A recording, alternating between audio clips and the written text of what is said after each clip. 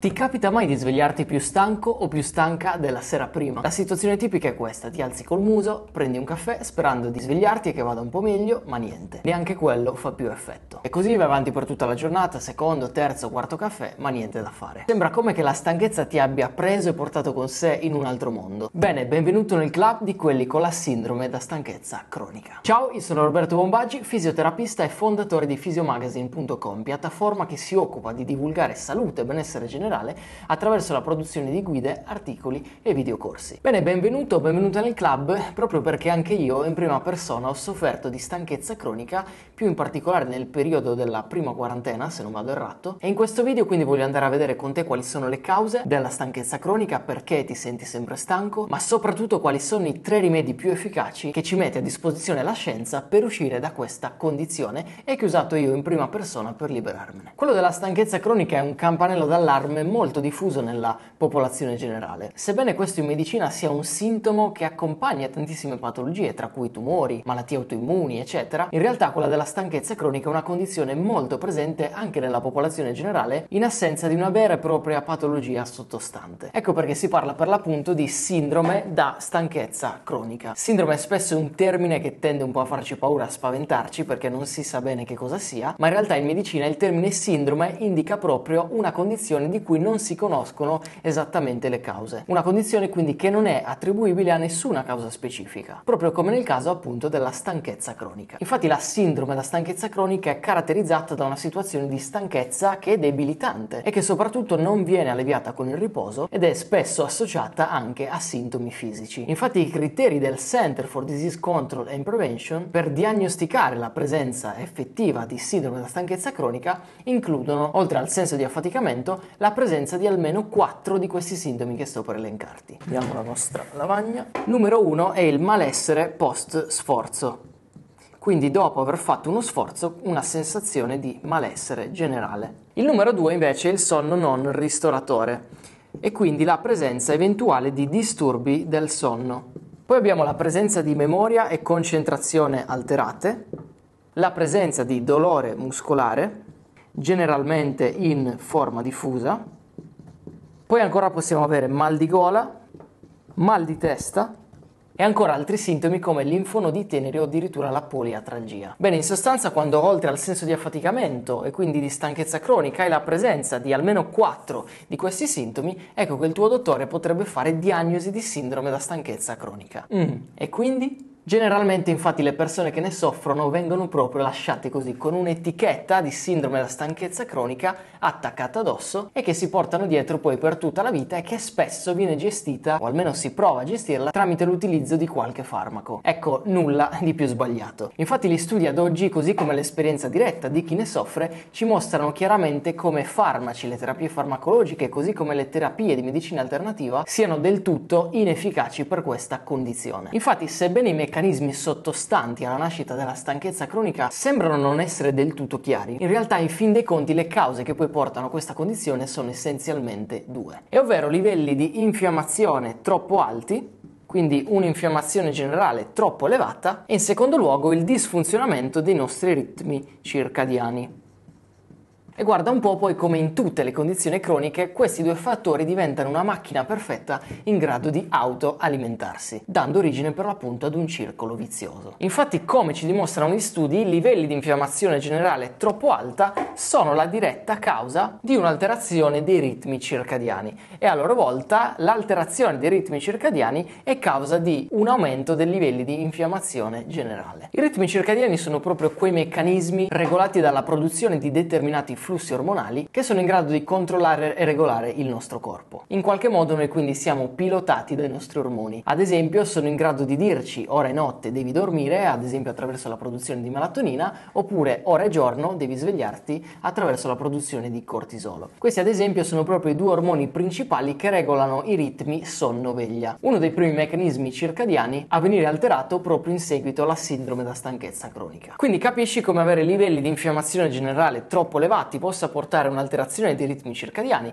che possa portare ad un peggioramento della stanchezza cronica, che ci porta ad andare incontro ad un sonno di peggiore qualità, il che ci porta ancora ad andare incontro a maggiori livelli di infiammazione cronica, il che ci porta ad andare incontro, insomma, ci siamo capiti. È un circolo vizioso che si autoalimenta. Ma dove intervenire allora per spezzare questo circolo vizioso? Bene, quello che ci suggerisce la scienza è che sostanzialmente le due terapie principali che funzionano, che sembrano funzionare meglio per questa condizione, sono la terapia cognitivo-comportamentale e la terapia fisica graduale, quindi l'esercizio fisico. In altre parole, lavorare sulla nostra componente psicologica e sulla nostra componente fisica sembra essere la migliore strategia per andare a risolvere questa condizione. Infatti entrambe queste terapie hanno dimostrato di dare significativi miglioramenti nei livelli di affaticamento, nell'adattamento sociale e lavorativo e nei livelli d'ansia e di malessere post sforzo. Mentre invece, come già detto, nessuna terapia farmacologica o terapia di medicina alternativa si è dimostrata efficace nel trattamento di questa problematica. Ed è molto importante intervenire su questa condizione con delle strategie efficaci proprio perché se portata alla lunga, se protratta nel tempo, questa condizione può portare a delle condizioni addirittura più complesse, come ad esempio a disfunzioni del sistema immunitario e a disfunzioni dell'apparato surrenale, proprio quell'apparato, quell'organo in grado di produrre i nostri flussi ormonali. Ma nel pratico quindi cosa possiamo fare? Vediamo allora tre strategie concrete per uscire da questa condizione. La prima strategia che si è mostrata efficace è quella dell'esposizione alla luce.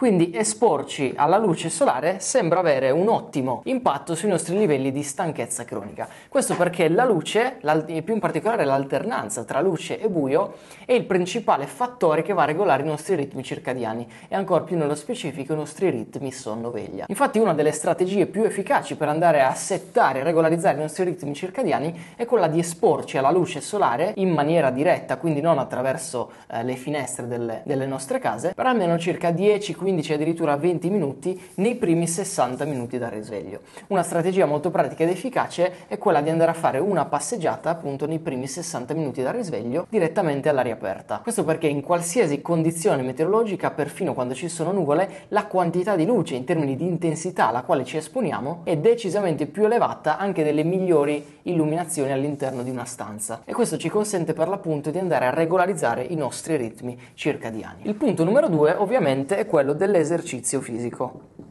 abbiamo visto che sia la terapia cognitivo-comportamentale che l'esercizio fisico sono due ottime metodiche per andare a combattere la sindrome da stanchezza cronica, ma visto che quando vengono paragonate danno grosso modo gli stessi benefici e non sembra appunto esserci una superiorità di uno rispetto all'altro, l'esercizio fisico rimane probabilmente la forma terapeutica più facile e accessibile da tutti. Ora, una delle prime reazioni dei pazienti quando gli viene detto che devono fare esercizio fisico è quella ma se sono sempre stanco io non ho voglia di allenarmi e questo è assolutamente lecito subito. Infatti la tendenza comune è quella di pensare che allenarsi possa portare e possa rendere ancora più stanchi. In realtà l'esercizio fisico, oltre a produrre una serie di ormoni energizzanti per il nostro corpo, come la serotonina, l'ormone del buon umore, le endorfine, l'adrenalina, eccetera, eccetera, è in grado anche di regolarizzare anch'esse i ritmi circadiani e di migliorare la nostra qualità del sonno, tramite un principio molto semplice che è quello di stancare il nostro organismo. Quindi se noi stanchiamo il nostro organismo volontariamente con una forma di esercizio terapeutico adatto alle nostre esigenze, esigenze, siamo in grado di andare a migliorare la nostra qualità del sonno, quindi avere maggiore energia il, giorno dopo e andare ad innescare un circolo virtuoso che può portarci ad essere sempre più energici. Ora, qual è la forma di esercizio più efficace? Beh, gli studi in realtà non sono giunti ad una conclusione accettata da tutti, sembra che qualsiasi forma di esercizio sia efficace